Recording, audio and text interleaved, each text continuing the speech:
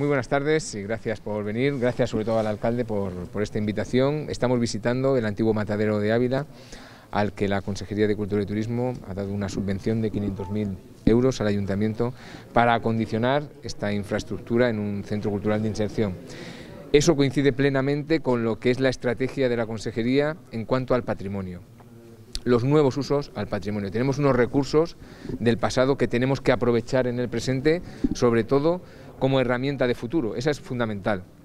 Tenemos un recurso económico de primera magnitud. Sabemos que el patrimonio y la cultura constituyen una fuente de dinamización social y económica y en este caso, hoy en Ávila, una ciudad patrimonio de la humanidad que ha sabido y sabe utilizar esa cultura y ese patrimonio precisamente para enriquecimiento tanto de los ciudadanos, sobre todo en beneficio de los ciudadanos, como de la propia eh, estructura patrimonial para legarla a las generaciones futuras, que es otro de los fines que tenemos encomendado las administraciones públicas, este eh, patrimonio que hemos heredado, conservarlo y transmitirlo a las generaciones futuras. Hoy, por tanto, estamos ante un nuevo ejemplo de esta concertación institucional, de esta colaboración leal entre instituciones, siempre, como digo, en beneficio de los ciudadanos. Así que felicitar al ayuntamiento, felicitar al alcalde por esta nueva iniciativa y siempre tender la mano hoy al Ayuntamiento de Ávila, lo estamos viendo a lo largo y ancho de la comunidad, tender la mano a todas las instituciones, ayuntamientos y diputaciones,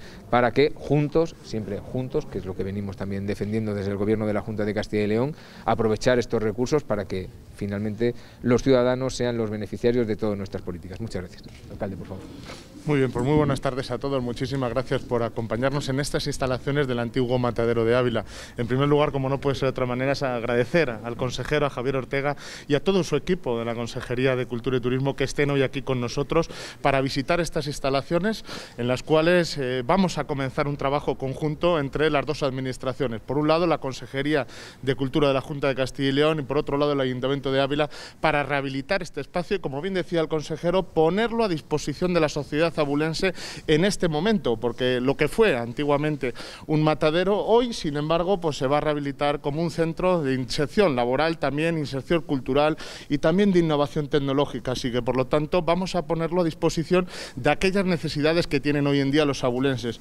Como saben, este matadero es un edificio único, es un edificio con una declaración BIC, es un edificio que todos los abulenses le tenemos mucho cariño, ha estado en funcionamiento hasta el inicio de los años 90 y, sin embargo, no se ha podido acometer las grandes reformas que necesita esta infraestructura.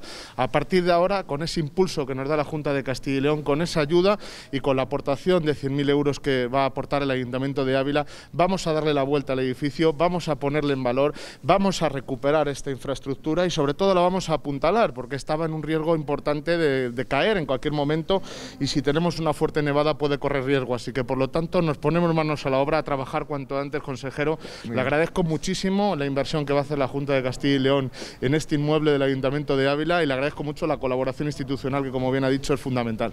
Muy bien, muchas gracias. Por cierto, la nevada es previsible, o sea que estamos, no, hay, no hay mejor momento que ahora mismo. Sí.